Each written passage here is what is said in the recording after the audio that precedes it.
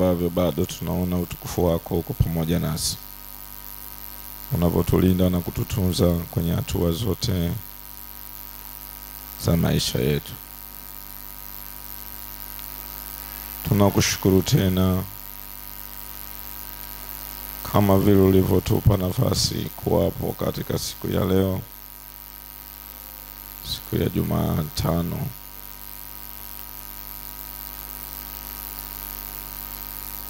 Umetuleta kwa upendo wako, umekuwa sababu ya sisi. Kusogea mahali hapa kuja kuabudu.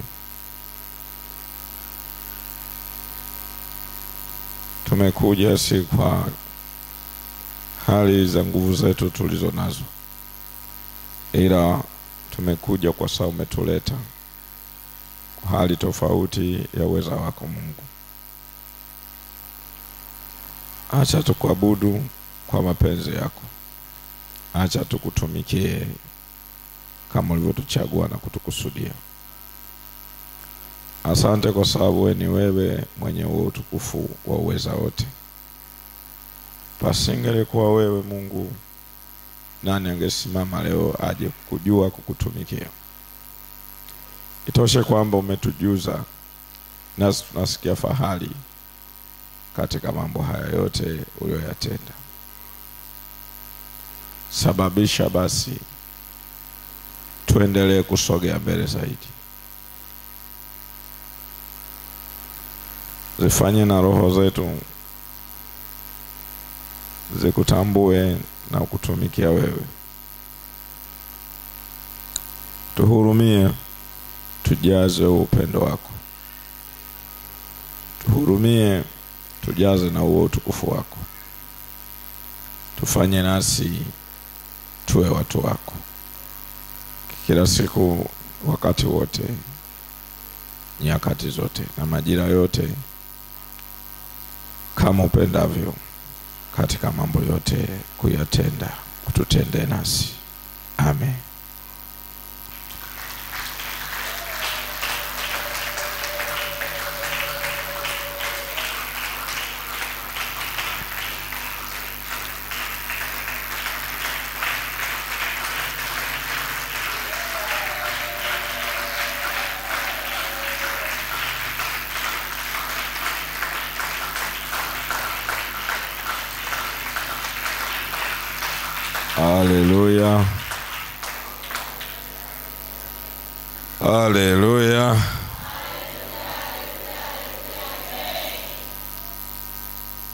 Unajisikiaje katika kumtumikia Mungu?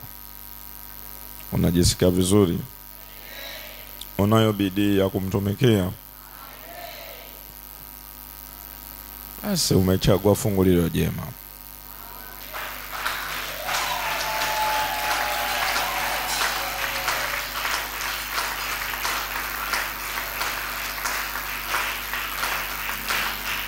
Hakika hautapungukiwa na jambo. Anasema wamtumainio Bwana watakuwa kama mlima Sayuni, ambao hawatatikisika siku zote.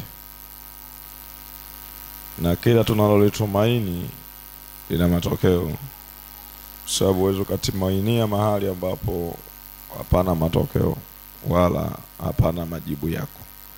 Kwa tunapotumainia Bwana tunasababisha tuone majibu ya maisha yetu yakionekana. Amen. Sasa ningekuomba ukae kidogo, japo tutamwimbia Bwana wimbo mmoja, lakini nataka nisome hichi kitabu.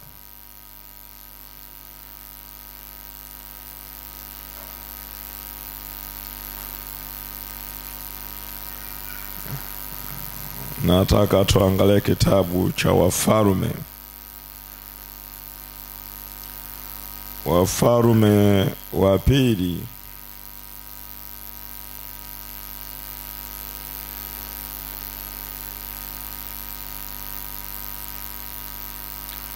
Sura ile ya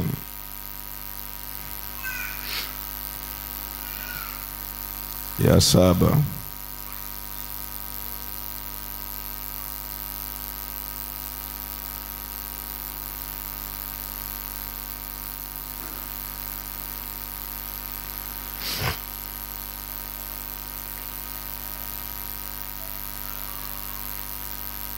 anasema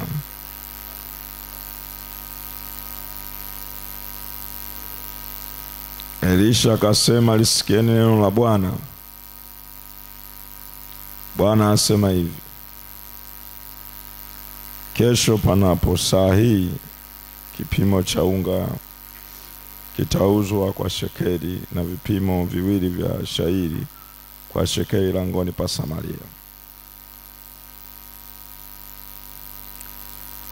Tutaondoka hapo, tutaenda sura ya nane.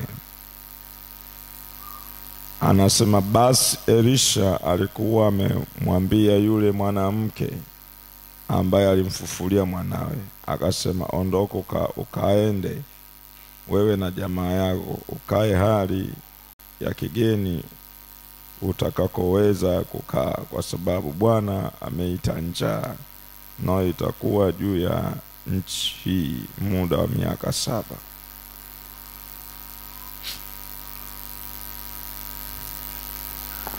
aleluya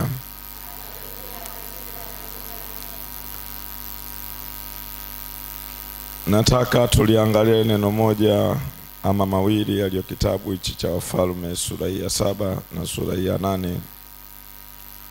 Nataka tuyatazame kwa kina zaidi, ili kusudi liweko jambo ambalo na wewe lisiwe ni jambo tu linalokuja alafu halina kazi,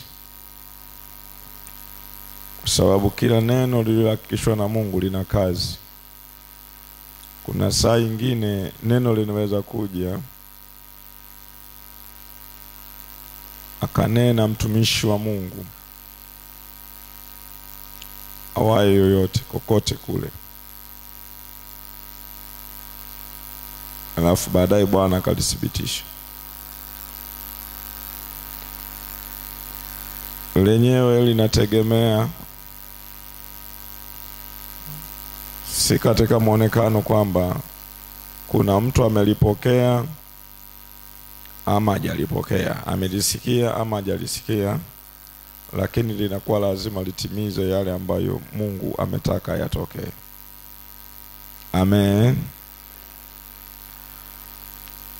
Siku zote pakiwako nabii, so mchungaji, pakiwako nabii kati yenu ama kwenye nyumba yako au sehemu nyingine yoyote ile unayoijua wewe,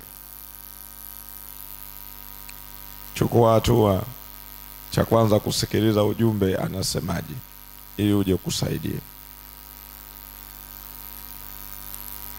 Wakati kama huu ni mgumu sana kuelewa, kwa sababu ni wakati ambao haukubaliki ujumbe wa Mungu wa kweli. Ujumbe wa Mungu wa kweli unapingika kwa sababu wakati huu kila mtu anatafuta matakwa yake mwenyewe, na kwa kuwa ujumbe wa Mungu haulazimishi jambo lolote kwa mtu awaye yoyote, wenyewe una matunda ya matokeo ya yale yaliyonenwa katika kweli. Sasa kwa nini uyaangalie? Kwa sababu saa yatakapokuwa yanaongea, ni jukumu lako kutega sikio, kuyafanyia kazi hayo maneno, na uwe na kumbukumbu nayo, ili alete faida. Usiache maneno ya kinabii yakaenda bila wewe mwenyewe kuyachukua na kuyafanyia kazi. Yamebeba neema sana nyingi, pia hata uharibifu umo umo Pia kuna vitu na unavihitaji wewe kama wewe kuviishi kupitia hilo neno. Kuna maamuzi ambayo nabii anaweza kuyatoa ambayo hayajaandikwa humu kwenye kitabu, ambayo wakati mwingine anaweza kuchanganya akili, lakini Mungu huyaangalia pia. Kuna kibali kilicho cha pekee sana kutoka kwa Mungu kupitia kinywa cha nabii, sio cha mchungaji, cha nabii. Mchungaji amewekewa mipaka, niwaambie kila siku, ana mipaka yeye ambayo hatakiwi kuvuka hata kidogo. Akivuka anaweza kupigwa mbele za Mungu na mbele za watu, lakini nabii hajawekewa mipaka. Yeye amezungukwa na matokeo ya lile atakalolisema Mungu atalitenda, hata kama wakati huo hakumwambia, ila kwa sababu kinywa chake kimepakwa mafuta ya kunena neno lolote wakati wowote, bila kujali masaa hayo, madam tu anazijua taratibu za kinabii, sababu kila nabii aliyopo nabii anajua taratibu za kinabii zinatembeaje, yaani ule uwezo wa Mungu unaotenda ndani ya kinywa cha kinabii lazima ujue, na yeye ana mipaka ambayo imewekwa, ambayo si ya misingi ya kawaida. Mipaka ya nabii, hataki kujikweza kwamba yeye ni Mungu, hata kama atanena mambo ya kimungu makubwa sana. Hiyo ndio mipaka yake, anatakia mheshimu Mungu, asizidishe hata kama kuna matokeo makubwa yatafanyika kupitia kinywa chake au mikono, hataki kuzidisha. Na nabii hataki kuabudiwa, wa kuabudiwa ni Mungu.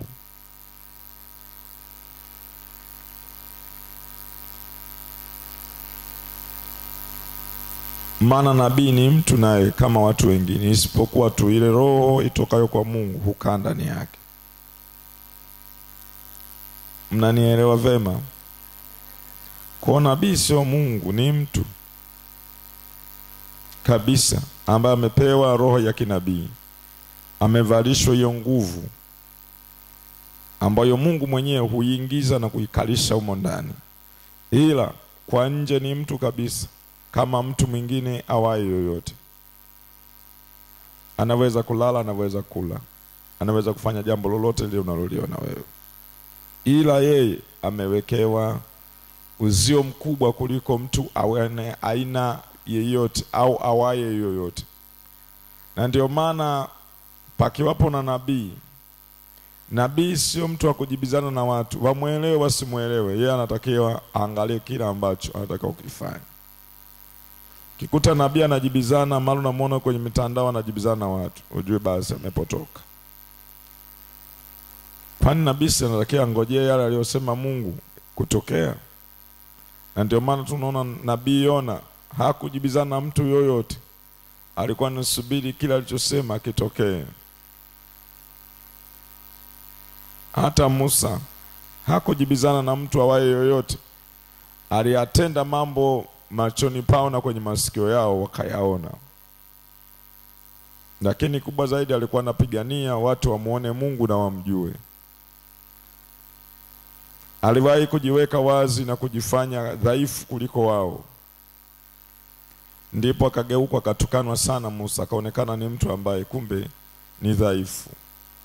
Lakini kwa sababu yeye hajawekewa mipaka na wanadamu, matokeo yaliyokuja yakawa mabaya kwa, sababu Mungu alichukia. Kwa nini hawakumstahi Musa?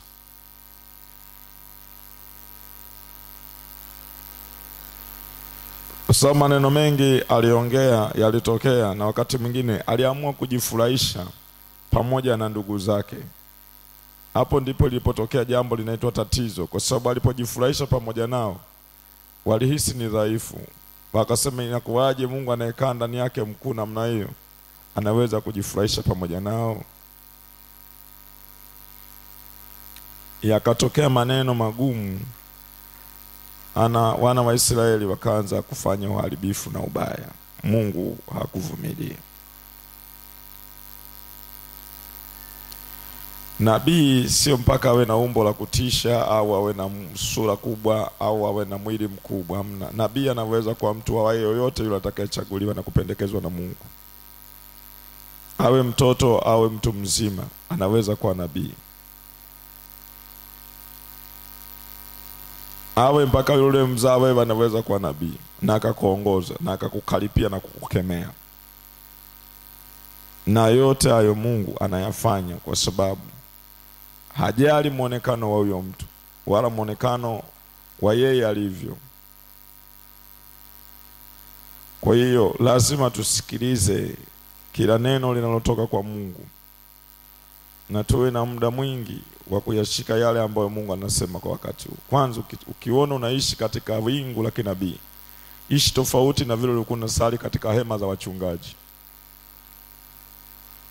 Anza kuzingatia, kwa sababu wewe upo karibu na madhara, pia upo karibu na baraka. Sababu ukikaa kwenye wingu la kinabii, madhara yapo karibu zaidi kuliko ulivyokuwa unakaa kwenye nyumba ya kichungaji. Wakati wote ule nabii akikasirika, ujue basi kuna mabaya yatakuja juu yako, hata asiposema.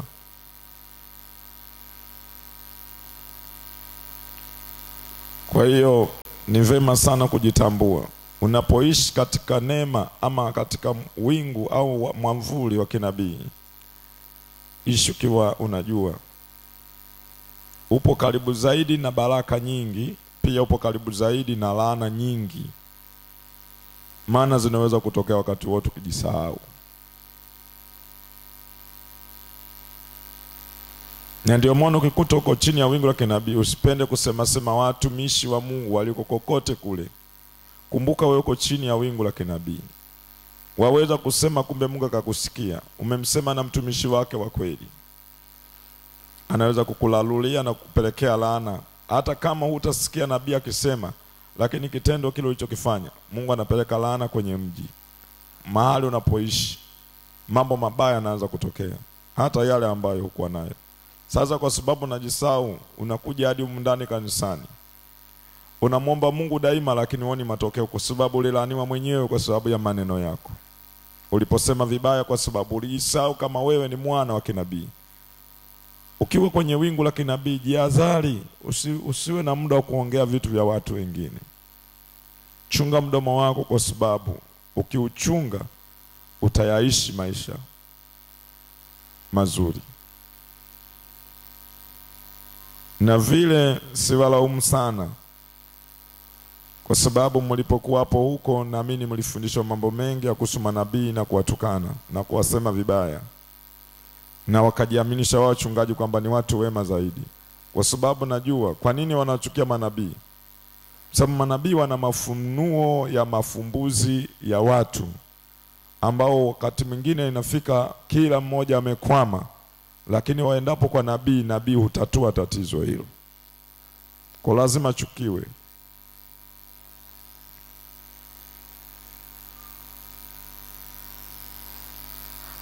Lakini mimi nasema wazi wazi kwako, usiwe mjinga kiasi hicho. Kama Mungu aliweza kutatua tatizo lako kupitia kinywa cha kinabii, heshimu sana. Kama alitatua tatizo lako kupitia kinywa cha mchungaji, heshimu sana pia, sababu ndani humo Mungu alikuheshimu, ndio maana alikutatulia na wewe. Ifike hatua tuwe tu watu waliokuwa katika hali ya kuwa na uwezo wa kufikiri na kupambanua namna nguvu inavyotembea yenye uwezo katika roho, ambayo ndio hiyo na sisi tunatembea nayo kwa kutufanikisha.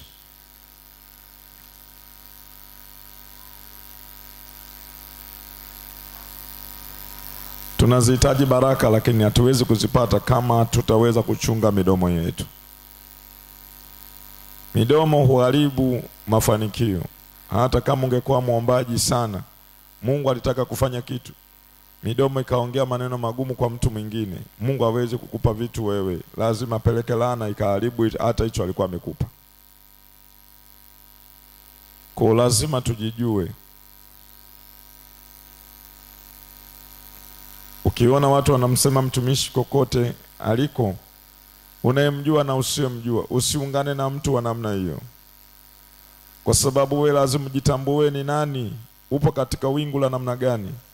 Wingu la kinabii halipo tayari kumsema mtu wa aina yoyote.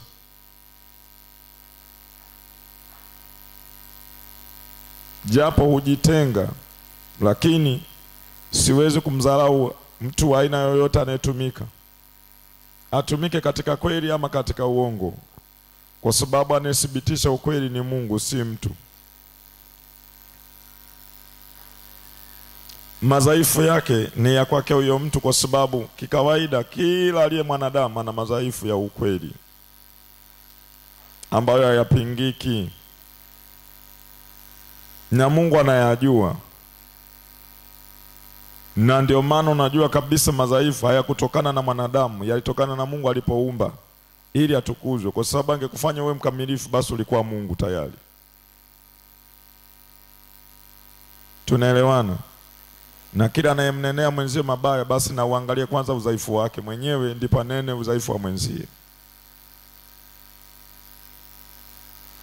na sizungumzii kwa sisi tu, mpaka kwa watumishi. Ukiona mtumishi ana udhaifu, usimnenee, kwa sababu nawe unao wa kwako ndani. Kazi hiyo si yetu sisi kuangalia na kuhukumu, ni ya Mungu kuhukumu kila udhaifu uliomo ndani kwa kila mmoja aliyoumbwa na Mungu na anayeishi duniani. Basi Mungu awezaje kukuita we mtakatifu hali anakujua na udhaifu? Bila shaka yeye aliyeumba hawezi kuangalia udhaifu ulionao, ataangalia namna unavyokaza mwendo wako kumtakafuta na kumtumikia na kumcha yeye. Hilo ndio kubwa zaidi. Madam tu we mwenyewe unajua hii ni dhambi, huifanyi.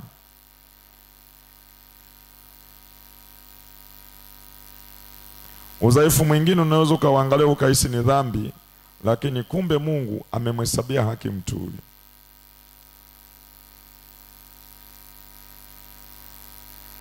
Kuna mambo mengine ya kustaajabisha yaliyoandikwa hata humu ambayo leo hii yangekuwepo kwetu, ama kama yakionekana yanaweza kuwa mabaya, lakini kuna watu walifanya mabaya humu ndani. Mungu mpaka leo anawaita watumishi wake. Inaweza kushangaza sana, lakini ulikuwa ni udhaifu mkubwa sana, mtu kumuua mtu alafu bado Mungu anamchukua awe mtumishi, sio jambo la kawaida. Bila shaka tungemhutumu, tungemshutumu sana. Haiwezekani akawa mtumishi. Juzi tumeona amenua panga, ameua mtu.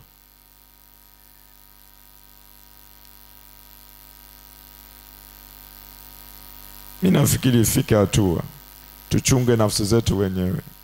Yaliyo ndani ya mtu mwachie mwenye nayo, ambaye ameyaumba yako ndani ya huyo mtu, atajua namna gani atakavyomhukumu. Kila mmoja ana kikombe cha hukumu alichowekewa na Mungu kitakachosimama siku ile utakapokuwa umemaliza mwendo wako. Mi naona tungeacha hayo, tungedili na ya kwetu, tungefanikiwa. Kila mmoja angedili na la kwake, lile ambalo liko ndani ya moyo, angefanikiwa. Mi nasema wazi kwako, ukigeuka ukaacha, una thawabu kubwa mbele za Mungu, na kama utafunga mdomo wako, utawazungumzia watu wengine ubaya una mafanikio makubwa. Na tuache kujikweza kwenye sehemu ya aina yoyote. Kumbuka sisi ni wanadamu tu, haitabadilika. Tusijikweze, tusije tukashushwa kabisa.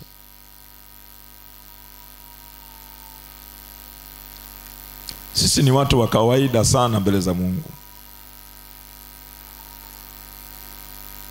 lakini yeye ametutukuza tumtumikie, na tunakuwa na ujasiri wa kupiga kelele kwa sababu ya ile nguvu ambayo inakaa ndani yetu. Hiyo tu ndo tuitukuze, kwa sababu ndo imetufanya na sisi tuwe majasiri, lakini hatuwezi kujiinua zaidi kuliko nguvu iliyoko ndani ya Mungu anayotupa sisi. Na mimi nasema kwa faa nini kujitukuza katikati ya mtu aliyeumbwa mdhaifu? Haina haja, atukuzwe Mungu katika mambo yote.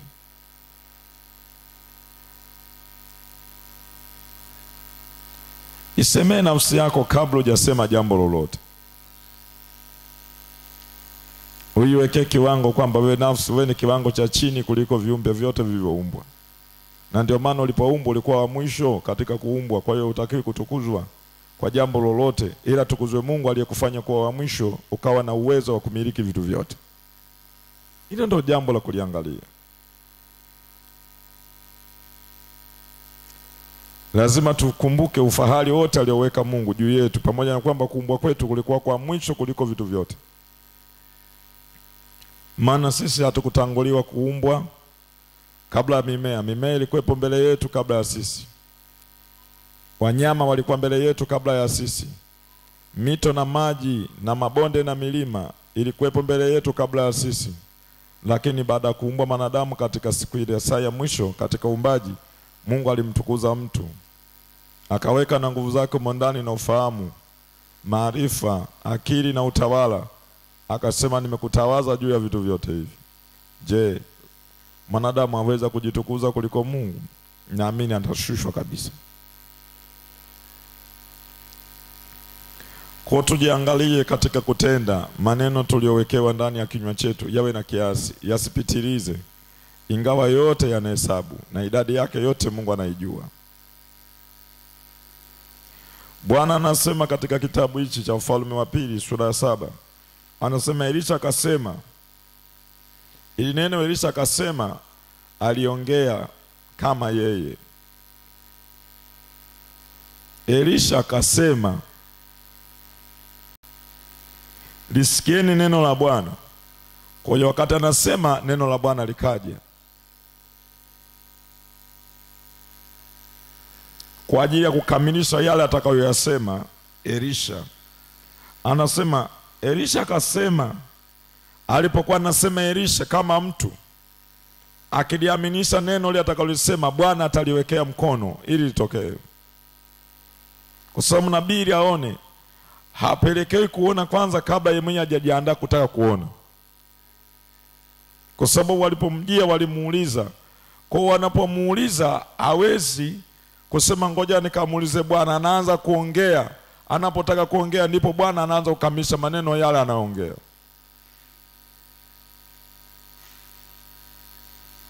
Unanielewa nachosema?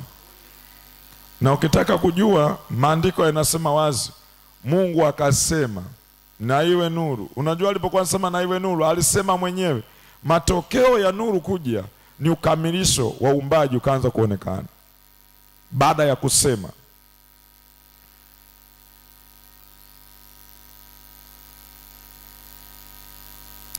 Naongea nao, unatamani na wewe ukawe na vitu vya kuviumba ukiwa nyumbani, kwa sababu ukiwa chini ya kini, wingu la kinabii wewe pia una nguvu ya unabii upo ndani ya kinywa chako, kwa sababu una sikio la kinabii una kinywa cha kinabii, una utendaji wa kinabii, kwa sababu utendi kwa kutenda kama ulivyokuwa mwanzo. Unatenda sasa kwa sababu wewe mikono yako pia ina nguvu ya kinabii. Kwa unapoanza kufanya, unafanya hali, unajua una nguvu ya kinabii ndani yako. Kwa hiyo unapoanza kuvifanya vitu, usiweke kusitasita. Hakuna nabii anayesitasita katika neno analolisema na hajali litatokea saa hiyo au kesho, na hajali watu watasemaje lisipotokea kwa wakati huo, kwa sababu yako maneno ya kinabii yanaweza kutokea na yapo hayawezi kutokea kwa wakati huo, yanaweza kutokea pengine miaka iliyopita. Kwani unafikiri tunayosoma hapa walio watabii wa kinabii Isaya haya kutokea mengine kwa wakati huo huo? Na wakusema yatakuja miaka itakayokuja, akasema tazama bikira atachukua mimba. Anaposema tazama bikira atachukua mimba, ilikuwa ni kama wakati huu uliopo,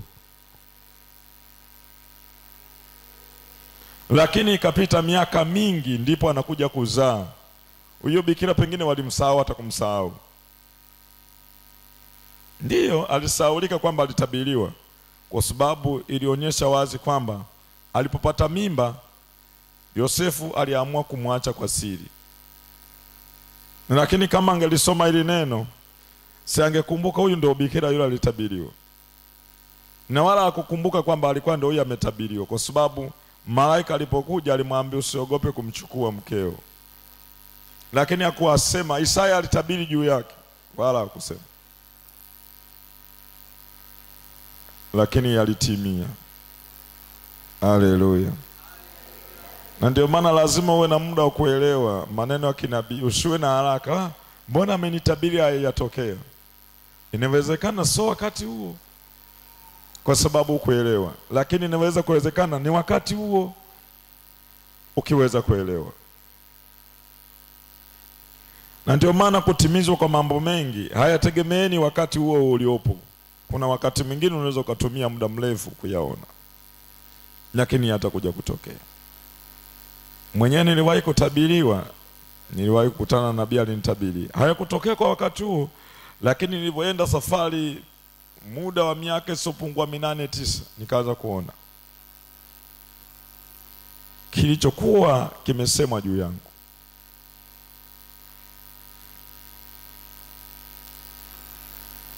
Pia niliwahi kukutana na nabii wa kike, aliwahi kunitabiria, anasema, naona Mungu amekupa kipawa kikubwa sana cha kumtumikia. Amekupa vipawa vyote karibu vitano vya kufanya kazi ya Mungu. Ni miaka tangu elfu mbili na kumi na kumi na moja kutana na huyo mtu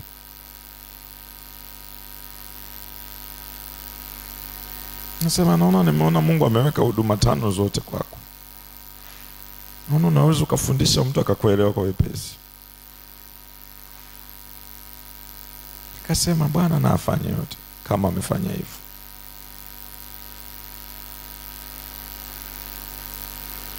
Nikaendelea mbele, lakini sikuwa mwalimu. Mimi nilikuwa najijua mwinjilisti na nilikuwa napenda niwe mwinjilisti na nilikuwa najitutumua kusema mimi ni mwinjilisti, hata kama sihubiri injili yoyote, lakini nikasema mimi mwinjilisti. Kwa hata mtaani kwangu walikuwa najua mwinjilisti na walikuwa wananiita mwinjilisti, na nilikuwa nafurahi sana wananipa wanaponiita mwinjilisti, mwinjilisti kila mahali mpaka watoto wadogo walikuwa najua mimi mwinjilisti, walikuwa wananiita mwinjilisti, mwinjilisti. Jina langu lilikuwa lijulikana, ninajulikana la mwinjilisti.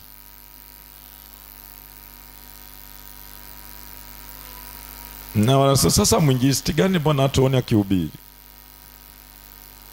Wakati ulikuja fika, lakini niliamua kulishikilia lilo neno, likanifanya leo nimekuwa mhubiri, nazihubiri habari njema za Bwana.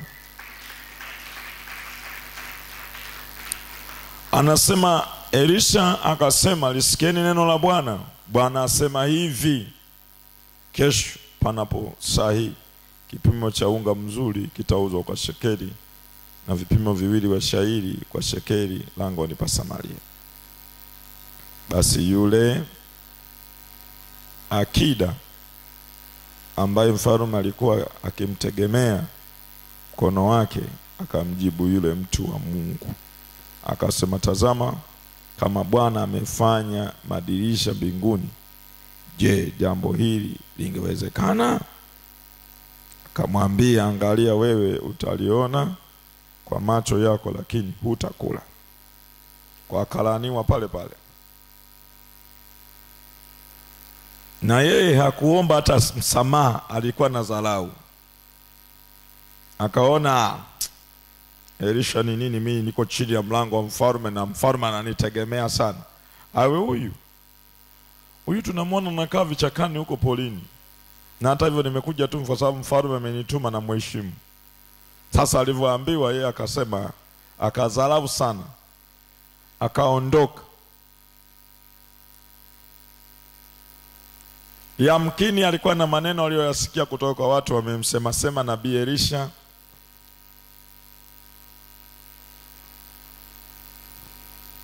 maana wajaandika humu, lakini yapo mambo ambayo ndugu zetu waliotutangulia walifadhaishwa na watu, lakini hawakuona kufadhaishwa kama kunaweza kuwa kuwakandamiza. Waliamua kufanya kazi ile ambayo waliona ni vema kuifanya. Tunaona yaliyotokea. Ukiendelea mstari wa tatu, anasema basi palikuwapo na watu wanne wenye ukoma. Mungu aliamua kutumia vizaifu vile vile, kama alivyoona yule akida kwamba nabii Elisha ni dhaifu, alichosema hakina ukweli. Kwa hiyo Mungu akainua watu dhaifu wenye ukoma wasababishe muujiza kutokea. Anasema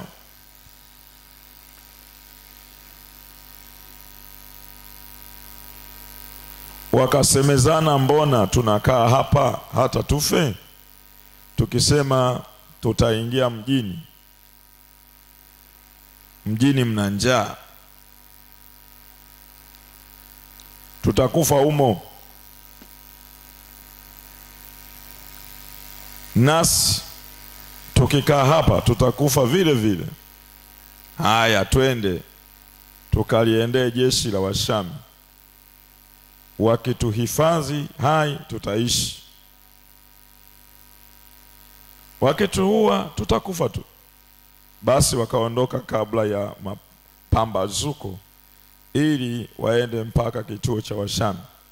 Na walipofika mwanzo wa kituo cha Washami, kumbe hapana mtu, kwa maana Bwana alikuwa amewasikilizisha Washami kishindo cha miendo ya magari na kishindo cha farasi, kama kishindo cha jeshi kubwa.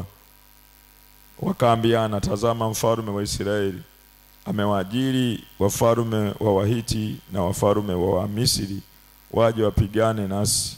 Kwa hiyo wakaondoka wakakimbia, kungaligiza bado, wakaziacha hema zao na farasi zao na punda zao na kituo chao vile vile kama kilivyo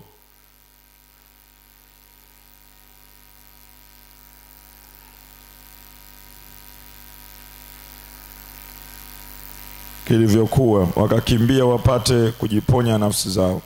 Basi wale wenye ukoma walipofika mwisho wa kituo, waliingia katika hema moja, wakala na kunywa, wakachukua fedha na dhahabu na mavazi, wakaenda wakavificha. Wakarudi wakaingia katika hema ya pili vile vile, wakachukua vitu, wakaenda wakavificha.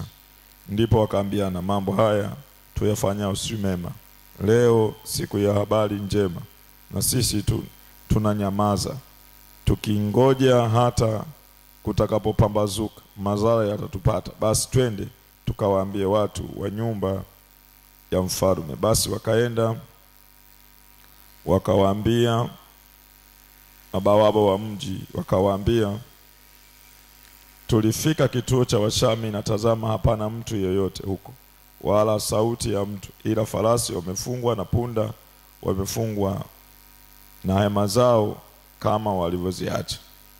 Na mabawaba wakaita wakawaambia watu wa nyumba ya mfalme. Mfalme akaondoka usiku, akawaambia watumishi wake, sasa nitawaonyesha nini waliowatenda Washami. Wanajua kuwa tuna njaa, basi wameondoka kituoni ili kujificha kondeni, wakisema watakapotoka mjini tutawakamata hai, tena tutapata kuingia mjini. Na mmojawapo wa watumishi wake akamjibu akisema, kumlazi baadhi ya watu na watwae farasi watano katika hao waliosalia wa, waliobaki ndani ya mji. Tazama, wamekuwa kama mkutano wote wa Israeli waliobaki ndani yake. Tazama, wamekuwa kama mkutano wote wa Israeli walioangamia. Tukawapeleka tuone. Basi wakatoa magari mawili na farasi zake. Mfalme akawatuma kuwafuata Washami, akasema, enendeni mkaangalie. Wakawafuata mpaka Yordani, na kumbe njia yote iliyokuwa imejaa mavazi na vyombo walivyovitupa Washami wapate kukimbia upesi. Watu wale waliotumwa wakarudi wakamwambia mfalme. Basi watu wakatoka wakaziteka nyara hema za Washami, ikawa kipimo cha unga mzuri kikauzwa kwa shekeli na kipimo viwili vya shairi kwa shekeli, sawasawa na neno la Bwana. Haleluya.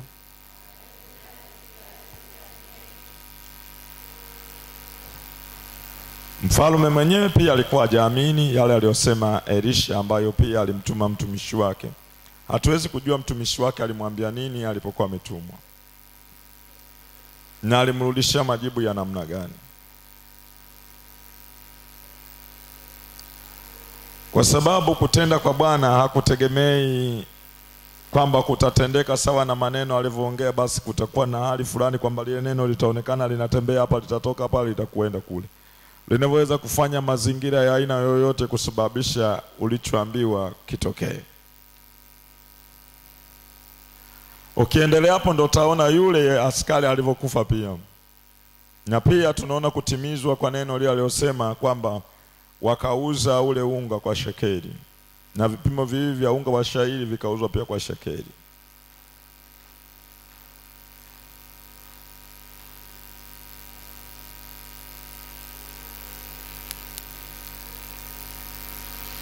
Lazima tujiepushe na taarifa mbaya zisije zikatukosesha kuyaona mema ya Mungu.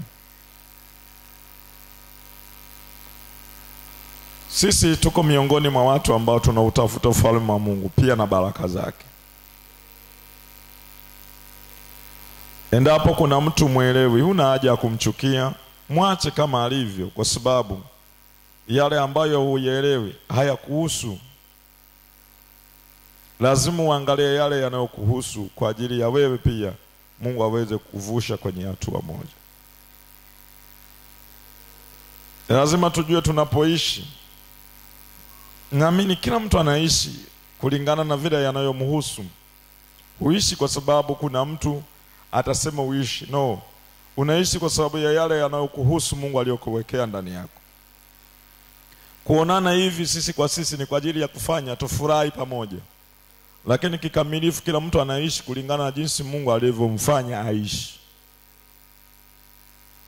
Mnanielewa nachozungumza? Yaani usihangaikie jambo ambalo halikuhusu, angaikia jambo linalokuhusu, kwa sababu kuishi kwako wewe ni mpango wa Mungu uwe hivyo. Ila tukijumuika kama hivi ni kwa ajili ya kufurahi pamoja, lakini kuhusu maisha ni kila mmoja anayo ya kwake.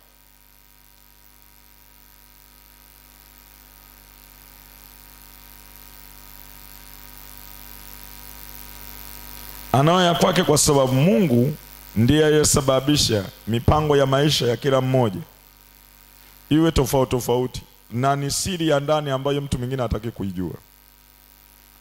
Hata ukimwambia bado hawezi kujua zaidi yaliyoko ndani yako.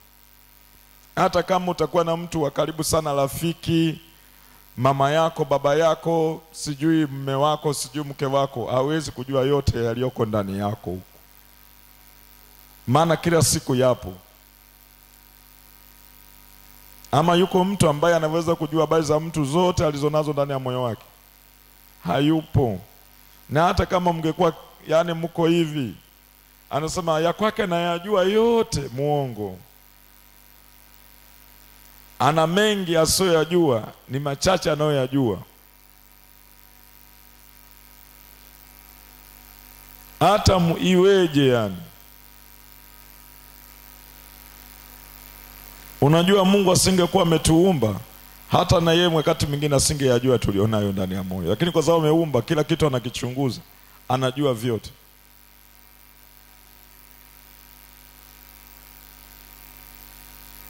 Unajua, wewe unaweza ukamdanganya hadi pepo. Mwanadamu anaweza kumdanganya pepo, kwa sababu pepo hawezi kujua yaliyoko ndani yako yote, ana machache anaweza kuyajua.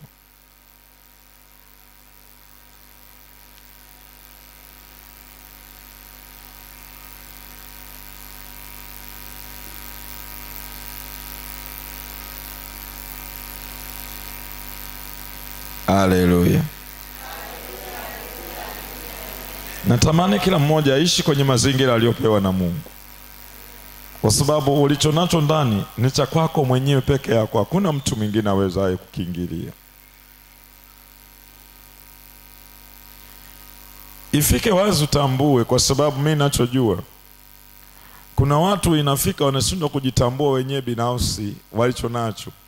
Anahisi pengine alichomwambia yule basi anajua kila kitu kukuhusu. Pana, hakuna juaye kila jambo linalokuhusu. Sasa mimi namjua yule A mpaka Z. Sio kweli. Au kama hivi tuko wote hapa, mnajua Mungu aliyozungumza nami amwezi kuyajua. Hata mtu akisema mimi nayajua yote yale Mungu alisema naye, sio rahisi. Kuna mengine sikuwahi kuwaambia na wala pia hayataki kuwaambia. Yale ni ya mimi na yeye aliyenituma. yaani hata mtu angekuwa kiasi gani ana ukaribu na mimi hawezi kuyapata.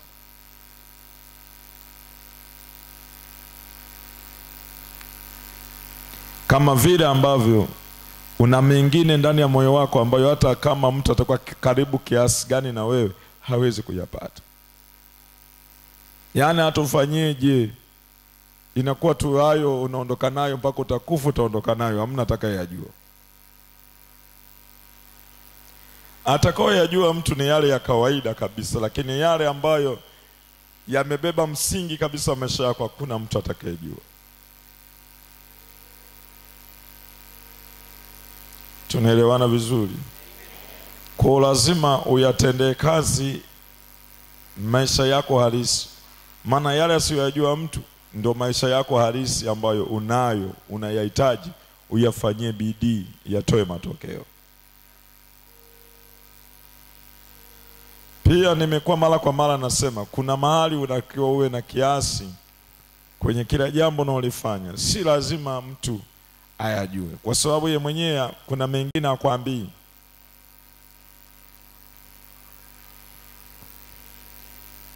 Ni muhimu sana, mi nasema ni muhimu sana, kwa sababu ukiwa na uwezo wa kuyatunza mambo yako, Mungu atakuheshimisha, atakupa baraka nyingi, kwa sababu anajua utazitunza pia.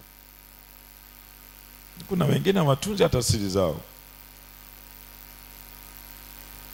kila kitu nataka kimwage wazi. Kwa nini basi usitoe mpaka kile cha ndani kabisa ambacho umekiweka, ambacho mtu mwingine hawezi kukijua isipokuwa wewe?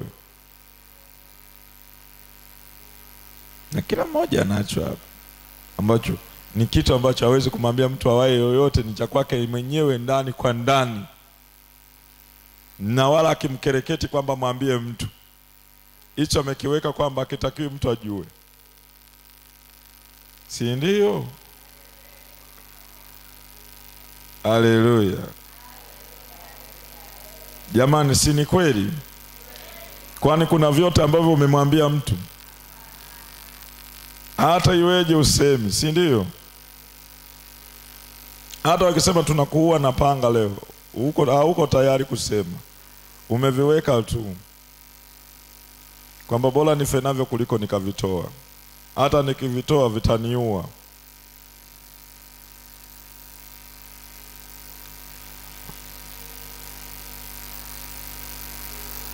Unajua ni kwa nini usemi? Kwa sababu ule ndo udhaifu wako. Maana ukiutoa udhaifu wako wote, si unakuwa tayari umekuwa kichaa, watu watakuwa nakucheka kila siku, si ndio? Kwa siri pia inaweza kusaidia wewe ukaimarika na ukaheshimika, si ndio?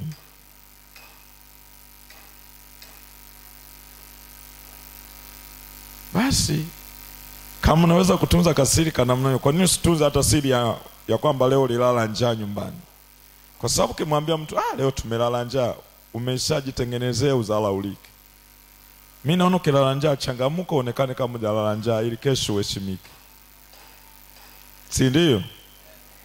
Nimelala njaa, unamwambia huyu mpendwa, hujakaa saa, yule mpendwa uliyomwambia anaenda kumwambia na yule. Amelala njaa jana, amelala njaa,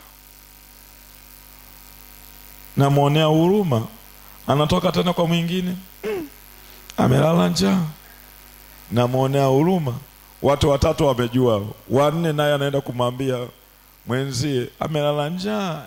Aise, kumbe watu wana njaa ndo wanakuwa hivyo. Si unamwona anavyotembea na mpepesuka? Kumbe ndio mwendo wako huko hivyo. Hata ushibe ujashiba, mguu mmoja unakuwa kama unateguka. Amen, amen. Ndiyo, kuna wengine viungo vyao wanatembea kama anataka kuanguka, lakini ndo yuko hivyo hivyo, hata shibe hajashiba, yuko hivyo. Sasa kwa sababu umesema nimelala njaa, wanaanza kukadiria mwili wote mpaka unavyokwenda, na akionana na wewe, simuona midomo ilivyokauka, amelala njaa, leo ni siku ya tatu.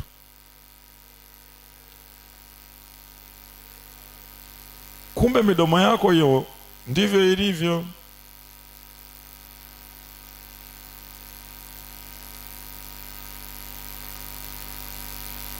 Jamani, kuna haja ya kutunza siri za ndani ya moyo wako ili usijiazirishe.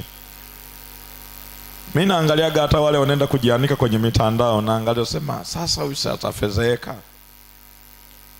Na wahojaji wanahoji mpaka vya ndani mtu anaanza kutoa vyote. Kesho akionekana mwingine anamfuata mwingine anamfuata mwingine anamfuata. Na vile habari ni mbaya basi watamwandama mpaka basi na kama jambo litakiwa liwe zuri kwa sababu unaposema mambo yako unasababisha yawe mabaya zaidi. Na yasaidii. Mimi naonaga kupuuzia mambo na kuto kuyaongea mambo yako kutakusaidia sana uwe salama.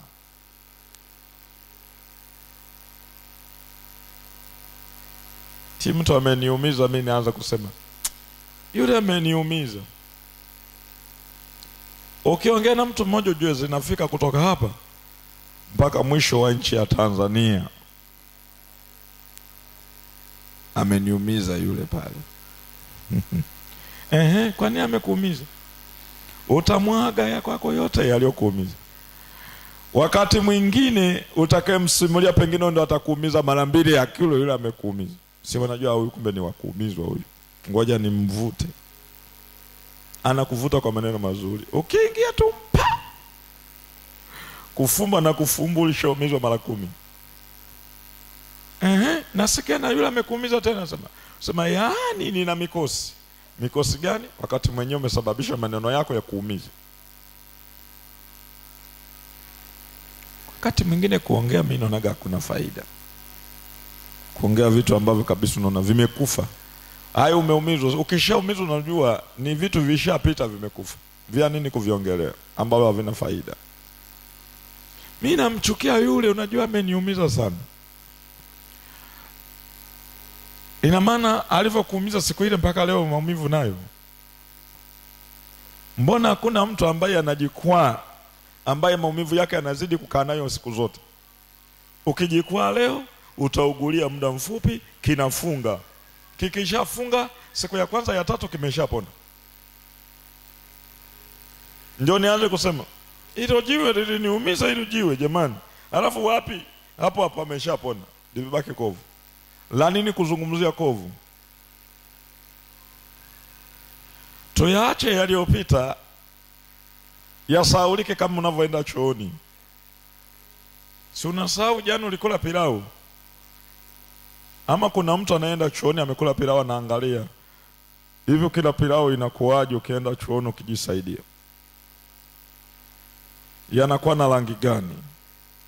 Kwamba ukalili na kesho kila pilau yatatoka rangi hiyo hiyo. Sio rahisi. Kwa sababu wakati mwingine unaweza kula pilau na matango juu na maparachichi. Kuna wakati mwingine ukala pilau na juisi tu kwa rangi lazima hiyo tofauti.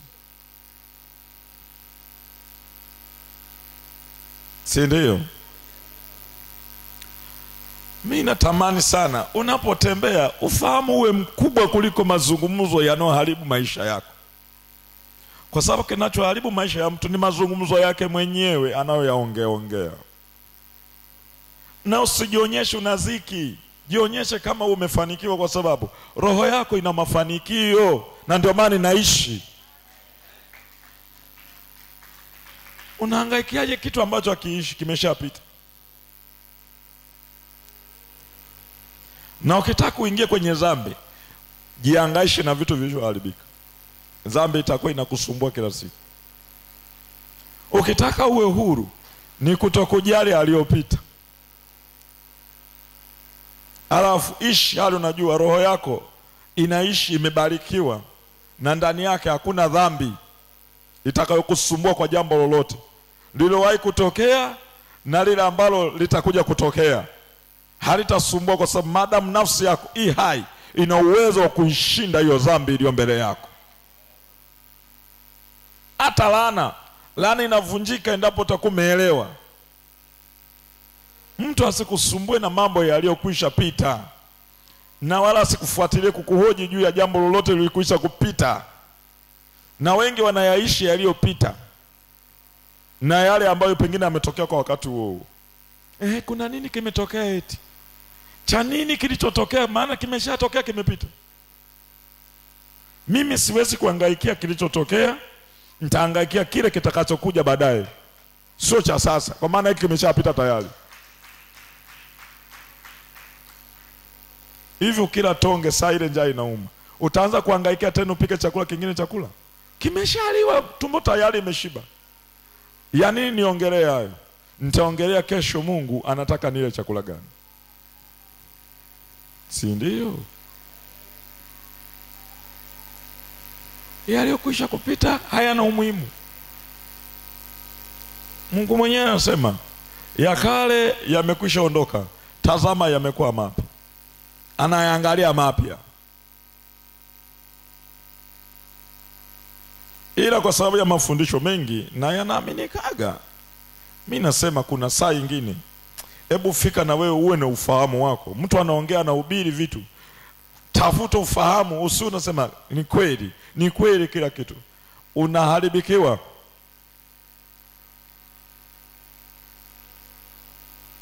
yaishi yanayokwenda saa hiyo yanayopeleka uelekeo wako kuendelea mbele na kuyafikia yale unatamani kuwa nayo.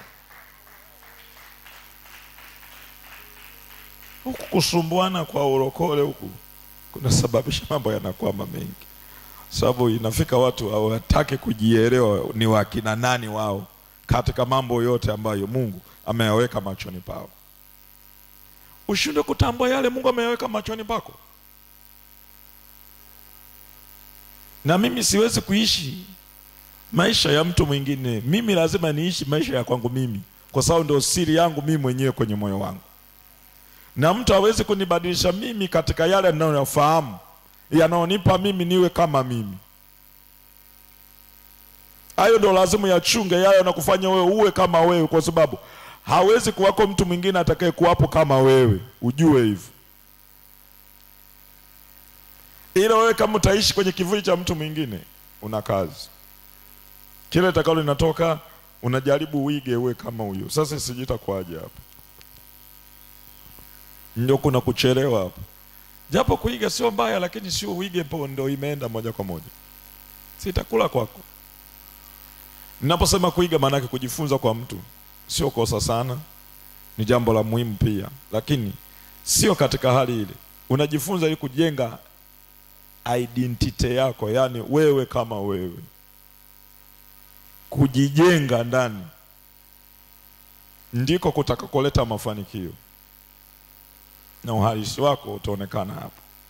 Na ndio maana mwanzo nimetangulia nisema kama utashindwa kuelewa maneno ya kinabii inakuwa ni ngumu wewe kuwa na nguvu ya kunena maneno kama nabii. Huyu tunamsema elisha aliyaishi maneno fulani alikuwa anasikia kwa elia ndio yaliyomjenga akaanza kuishi kama nabii. Mada wa muda tunaona uh, wale wana wa manabii wakasema roho ya elia inaishi ndani ya elisha. Waliona nini? Waliona matendo anayoyatenda sasa anatenda kama nabii na yeye. Kwa sababu lipo aliyokuwa amelishika. Na ndio maana walipokuwa wanamwambia unajua hataenda kutwali wakasema najua nyamazeni kwa sababu alikuwa na uwezo wa kufahamu hata kama hakujua aliwanyamazisha tu ili mradi wapishe ile hatua anaotaka kuipata kuifikia. Kuna hatua ambayo unaitamani kuifikia lazima uiangalie. Kwa kuwa na uso wa upana Yani nasema uso wa upana maanake kuwa na moyo unaweza kuyafikia hayo. Yani ufikiri upana ama kuwa na uelewa wa kutambua makubwa zaidi